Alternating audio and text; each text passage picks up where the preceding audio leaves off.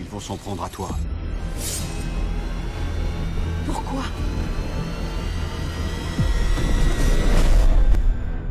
Je pense que tu étais quelqu'un.